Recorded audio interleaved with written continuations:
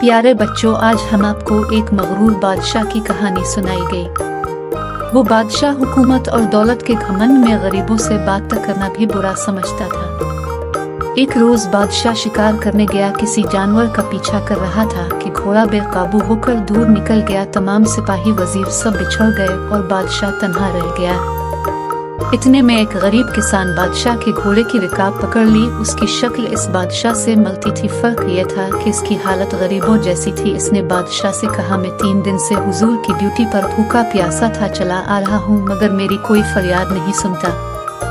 बादशाह गरीब को मेले कुचेले कपड़ों में देख कर ये कहते हुए आगे बढ़ गया कि मैं ऐसे लोगों से बात नहीं करता।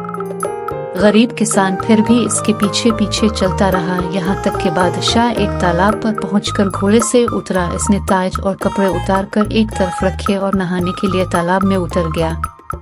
जब बादशाह तालाब में उतर चुका तो किसान बादशाह के कपड़े पहनकर ताज सर पर रख लिया। बादशाह के घोड़े पर सवार होकर रफू चक्कर। हो गया।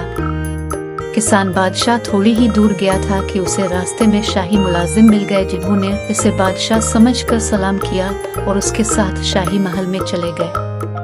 असल बादशाह तालाब में से बाहर निकला तो कपड़े ताज और घोड़ा कोई भी मौजूद नहीं था, वो बहुत घबराया मगर अब क्या हो सकता था?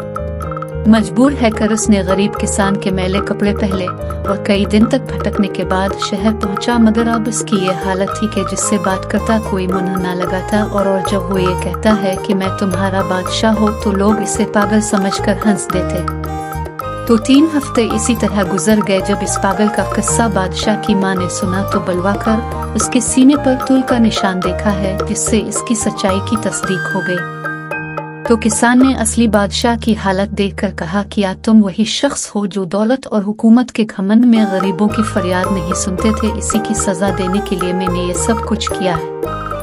अगर तुम घमंड छोड़कर रहम और इंसाफ का इकरार करो तो मैं तुम्हारा ताज वापस करने को तैयार हूँ, वरना अभी कत्ल का हुक्म भी दे सकता हूँ, ये सुनकर बादशाह ने नदामत के साथ अपनी गलती तस्लीम की और वो गरीब इसे इसका तख्त व ताज देकर वापस चला गया। इसके बाद बादशाह ने अपनी इसलाह की और चंद दिनों में उसकी नेक नीति का दौर दूर तक डंका बजने लगा।